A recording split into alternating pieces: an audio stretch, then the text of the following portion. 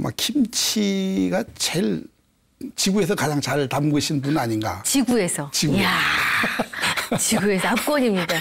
김치 맛있다는 분은 많으셨어도 지, 지구를 운운하시는 경우 처음입니다.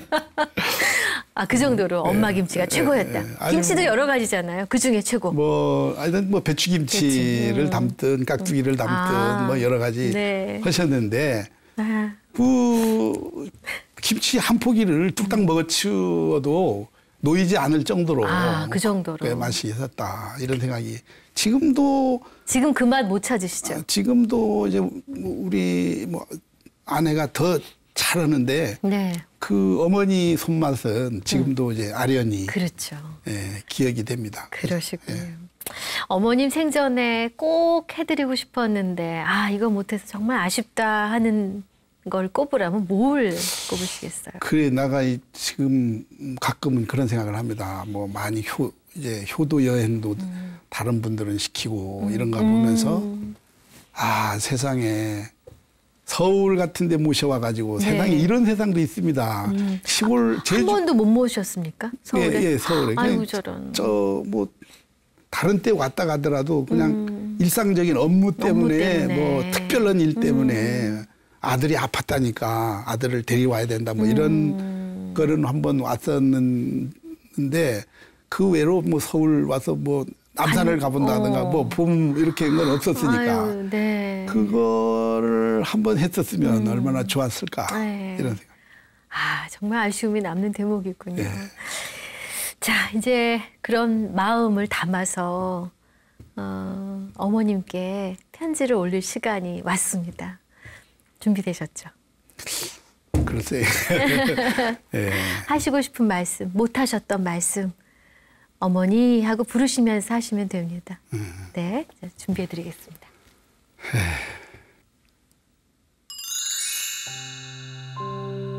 어머니 그때 어머니나 사랑합니다. 그런 말 한번 했으면 좋았었는데 못했습니다. 이제 나이가 드니까 할 수 있을 것 같습니다. 그리고 어머니 돌아가신 다음에 많이 변했습니다. 해평내 큰아들은 아이가 예, 의과 대학에 갔답니다.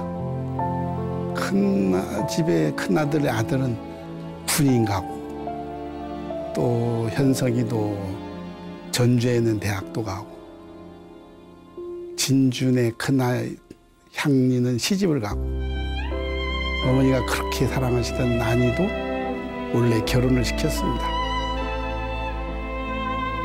아, 모든 게 어머니 덕입니다. 어머니가 저승에 가서도 저를 잘 챙기는가 봅니다. 제가 지난해 시장이 돼서 48만 시민의 행복을 위해서 열심히 노력하고 있습니다. 더 열심히 하겠습니다. 요즘은 술도 안 먹습니다. 아, 열심히 노력해서 남들에게 욕 듣는 사람이 안 되도록 이 아들 열심히 살겠습니다. 너무너무 사랑합니다. 감사합니다.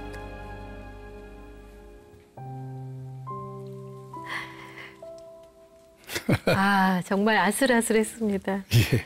실은 이제 저희 아까 대기실에서 말씀 나눌 적에 이 부분이 가장 힘든데 열의 아홉이 우십니다라고 말씀을 드렸더니 저는 안울 겁니다 하셨는데 아슬아슬 잘 참으셨습니다.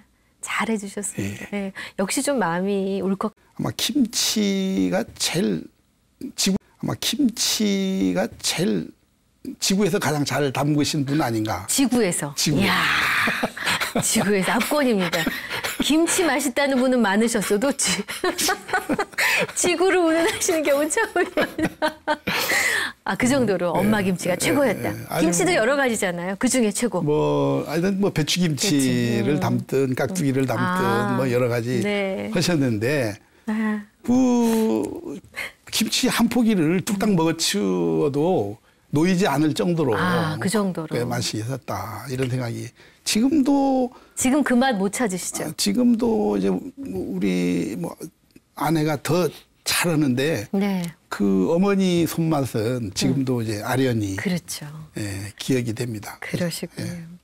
어머님 생전에 꼭 해드리고 싶었는데 아 이거 못해서 정말 아쉽다 하는 걸 꼽으라면 뭘 꼽으시겠어요? 그래 나가 이- 지금 가끔은 그런 생각을 합니다. 뭐 많이 효 이제 효도 여행도 음. 다른 분들은 시키고 이런가 보면서 아 세상에 서울 같은데 모셔와 가지고 네. 세상에 이런 세상도 있습니다. 시골 한 제주 번도 못 모셨습니까? 서울에? 예, 예, 서울에. 아이고 저런. 저뭐 다른 때 왔다 가더라도 그냥 일상적인 업무 때문에, 음. 때문에. 뭐 특별한 일 때문에 음. 아들이 아팠다니까 아들을 데려와야 된다 뭐 이런 음. 거는 한번 왔었는데 그 외로 뭐 서울 와서 뭐 남산을 아니, 가본다든가 어. 뭐봄 이렇게 한 건 없었으니까 아유, 네. 그거를 한번 했었으면 얼마나 좋았을까 네. 이런 생각. 아 정말 아쉬움이 남는 대목이군요. 예. 자 이제 그런 마음을 담아서 어, 어머님께 편지를 올릴 시간이 왔습니다. 준비되셨죠? 글쎄. 예. 하시고 싶은 말씀, 못 하셨던 말씀, 어머니 하고 부르시면서 하시면 됩니다. 네, 자, 준비해 드리겠습니다.